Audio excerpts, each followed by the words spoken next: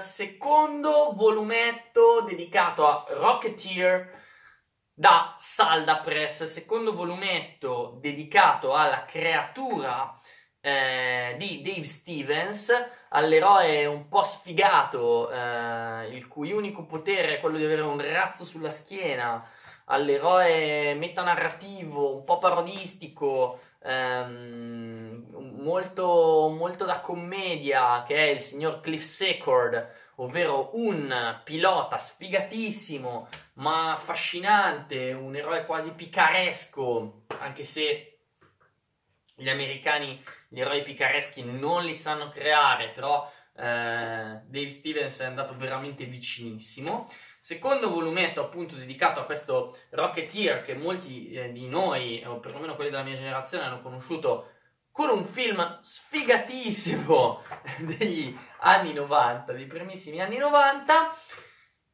Qui dentro le firme sono tre e sono importanti, eh, due classiche più una. Perché? Perché queste storie sono quelle realizzate da Mark Wade e Chris Sanny per il colore di Jordi Belair.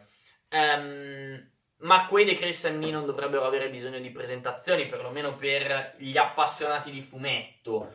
Per i non appassionati oppure per i distrattoni, eh, quel, questo team creativo è uno dei più premiati degli ultimi anni perché è quello che ha vinto gli Eisner Awards per il suo ciclo di storie su Daredevil non molti anni fa, è quello di cui vi abbiamo parlato con grande entusiasmo per aver firmato eh, un ciclo importante eh, di Capitan America un anno e mezzo, due fa, mh, iperclassico e eh, di ricostruzione del personaggio di Capitan America dopo la cura shock di Nick Spencer e gli eventi di eh, Secret Empire, ovvero uno dei più eh, controversi, ma anche bellissimi per quanto mi riguarda, eventi Marvel di sempre, ecco qui torniamo a Rocketeer. Rocketeer, come dicevo, è Cliff Secord, questo eh, pilota americano eh, di provincia che un bel giorno eh, pensa di aver risolto tutte le sue sfighe eh, trovando questo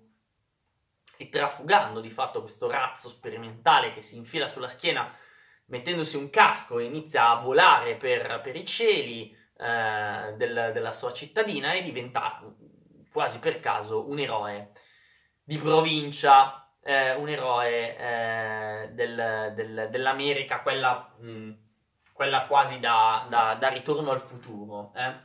E, mh, da paesino eh, apparentemente tranquillo, ma che in qualche modo non lo è mai. Quelle di Rocketeer sono avventure eh, ambientate in anni 50 di grande ingenuità. Il personaggio di David Stevens è un ingenuo dal punto di vista psicologico e anche dal punto di vista narrativo, nel senso che si riprende qui un certo tipo di avventura pulp eh, non particolarmente evoluta eh, nel, nel, suo impianto narrativo e Mark Wade e Chris Amney sono semplicemente perfetti per un personaggio come Rocketeer. Chris Amney eh, merita eh, fiducia degli acquirenti e dei lettori semplicemente per il suo nome e per il suo cognome. È un narratore per immagini assolutamente meraviglioso, è un, uh, uno, un disegnatore vintage ehm, e moderno mh, mm, al contempo, è uno che sa prendere ciò che è semplice e lo sa far diventare assolutamente di classe. Mark Wade è semplicemente uno degli sceneggiatori che più ha il mestiere eh, dei comics eh, che attualmente siano esistenti in America. È il dio in terra del passo narrativo, ehm, un grande gestore dei tempi della pagina e della sceneggiatura, è un, un omino che ehm, sa mettere tanto in, in poco spazio e sa comunicare moltissimo ed è soprattutto un grande amante di Rocketeer perché è un grande amante del fumetto classico a cui, eh, e della Golden Age a cui Rocketeer e Dave Stevens facevano riferimento eh, quando mh, mm, il secondo ha creato il primo.